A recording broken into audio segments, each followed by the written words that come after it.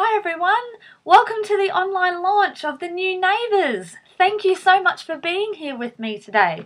I'm in my very colourful office as you can see, my colourful study where I do all my writing.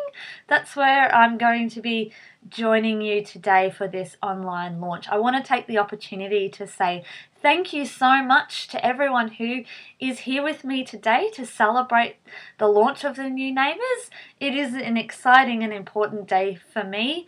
Um, it's been quite a journey to, to get to this point, and I'm just so grateful for all the ongoing support and encouragement from readers, from friends, from family. It really is all that an author needs to keep doing what they're doing. So thank you and keep doing what you're doing. It's just so encouraging.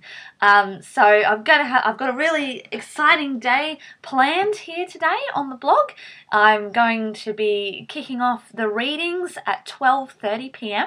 I'm going to be reading from The New Neighbours, the short story. I'm going to be reading an excerpt from that, um, which is really exciting. Uh, followed at 1 p.m by my first post dedicated to my first special guest author, MC Dalton.